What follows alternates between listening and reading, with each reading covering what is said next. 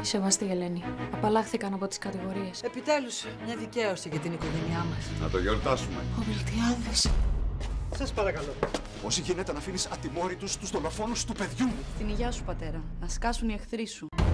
Άγριες μέλισσες. Είσαι νέος. Μη θαυτείς μαζί μου. Μπορείς να φτιάξεις ξανά τη ζωή σου. Αύριο στις 10 το βράδυ και κάθε Δευτέρα έως και Παρασκευή Άσε τις βαλίτσες κάτω τώρα. στον Αντένα.